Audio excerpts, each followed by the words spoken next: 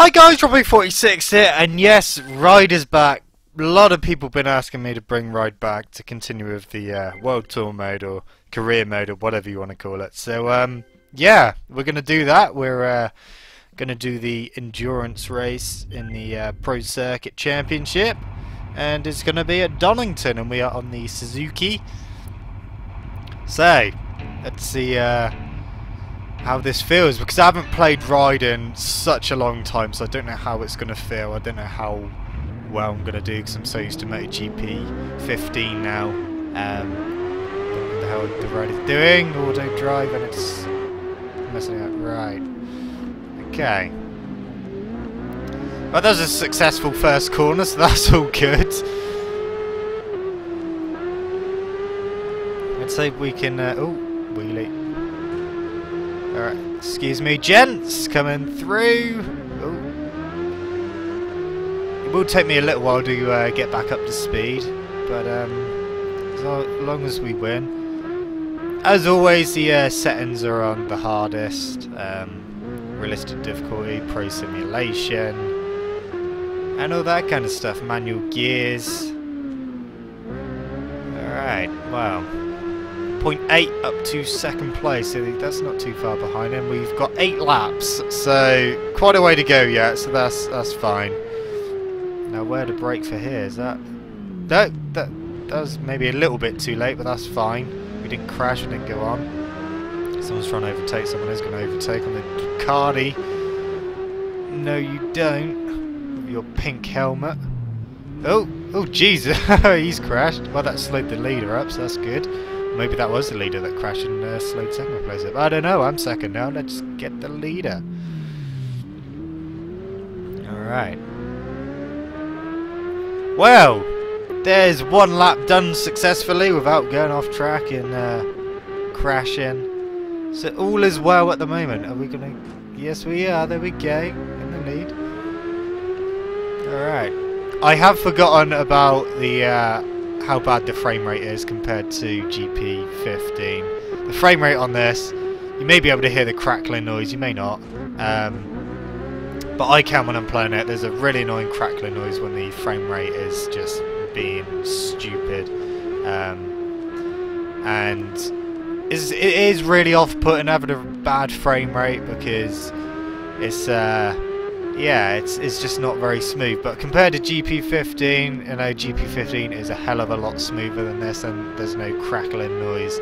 So that's a big plus for GP15. And also the uh, rider animation is a lot more fluid on GP15. It looks a lot more natural. Um, on this, it looks a, a little bit stiff, but you know, at least you can uh, create your own riding style in this. I wish they put that on uh, the GP games. It would be nice to have it in the next one, but I don't know. Right, well. The lead is ours at the moment. And one thing I've noticed after the two laps um, that we've basically completed now is that you can push the bikes a lot more on this rather than uh, what you can on GP15. Um, but you don't get as much feel through the uh, controller as you do in GP15 I find. Especially with the front. Um, in GP15 because they actually use the uh, impulse triggers pretty well in that. Um, you can feel the front end on the uh, left trigger if you're braking a bit too hard while slant over. You can feel it starting to... The trigger vibrates just to let you know that uh, your front's going to wash out any moment now. But um, don't really seem to get that as much on this. Like I said, you can... It does feel like you can push the bikes a lot more. Uh, it is more forgiving than GP15. But... Um, I think I definitely prefer GP15. Just, I mean, mainly because of the frame rate. I mean, if the frame rate wasn't an issue, I would have thought by now that they might have brought out a patch to fix the frame rate. Because this game's been out like over a year now. Um, or is it a year? I don't know. Can't remember when it came out last year. Some, or was it this? year? I don't know. Can't remember. I know that uh, like GP15 is a shambles when it eventually came out anyway. But yeah, it's um, I would have thought in all that time they would have at least brought out a patch, even if it was just to um, fix the frame rate, but unfortunately they haven't. Um, they have brought out a new bike pack uh, that came out a few weeks ago, or maybe a month ago. I don't know. I haven't really been keeping up with uh, Ride. But yeah, you would have thought instead of doing a bit of DLC, why, why not just fix the game first and then do your DLC? But no. Oh well. That's unfortunately the world we live in. I mean, it did take them quite a while to fix the uh, the gear um, changing foot in GP15 to go in the correct position and the correct direction. But uh, at least that's fixed now. But they haven't done their frame rate on this, which is a shame. Don't know if they're going to be doing a ride too. I imagine they might, but if they do, they really need to figure out what the hell they're doing. Um, I think maybe now that they've done GP15, as I go, oh shit, no, oh, what a save. Um, as they've been doing GP15, I think they may have learned a bit more about the Xbox One because um, Ride was their first. Oh, get my shit. Come on, quick, quick, quick. Oh, we've lost a few positions. Never mind. Hopefully we can get back. Um, yeah, when they done Ride, it was their first game that they've actually done for the Xbox One. Um, whereas the year before, uh, GP14 came out on the PS4. Um, so they had a bit of knowledge about that. And we know that apparently the Xbox is a bit of a bastard to uh, code for.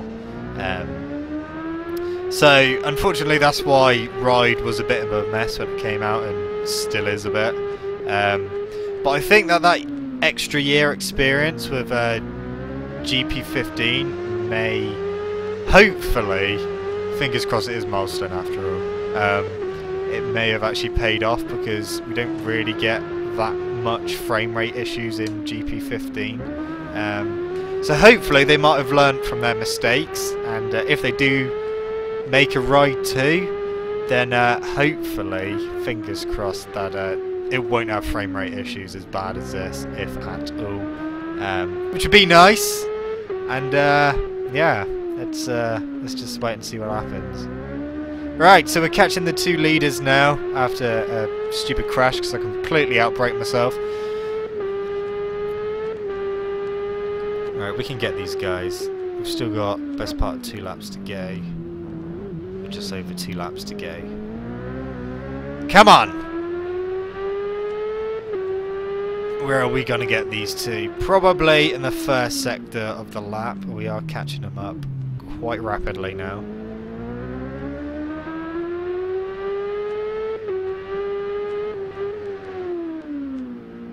Oh, really wide. That's right, we can pull that back and get a good exit.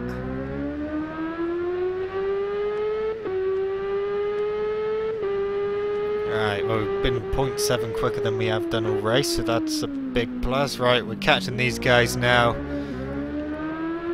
Can we, I know where we're going to catch them on the left-handed down Craner Curves. Here we go. Catch them up big time, I reckon.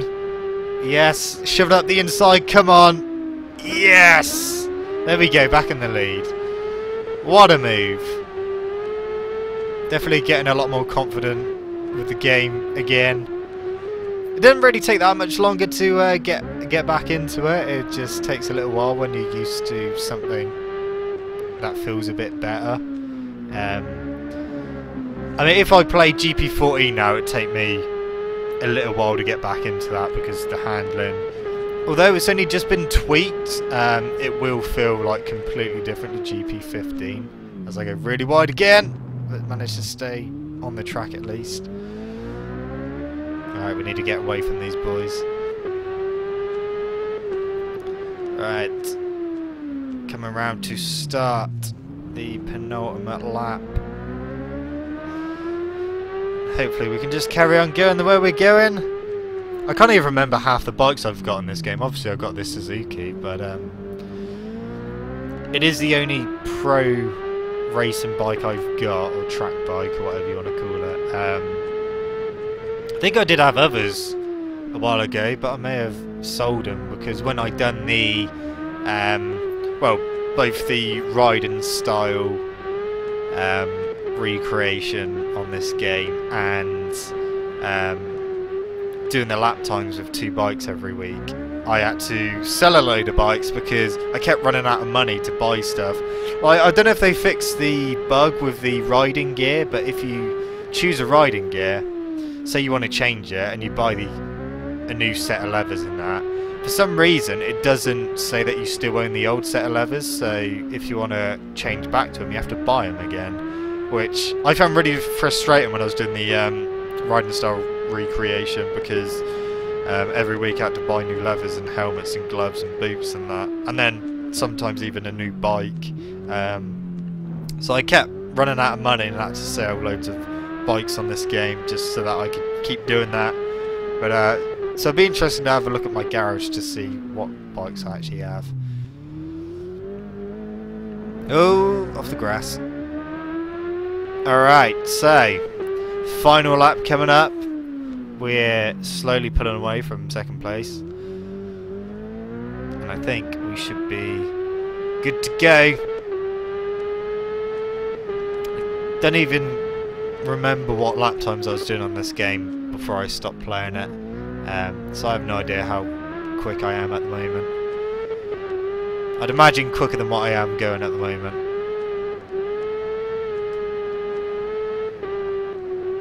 Oh No, we saved it, it's fine. 2.3 ahead of second place.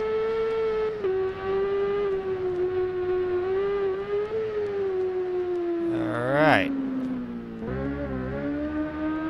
What I might do also, um, with this PS2 emulator, which is meant to be coming to PS4, um, if Tourist Trophy can work on the PS4, then I will do videos on Tourist Trophy because that used to be my favourite bike game.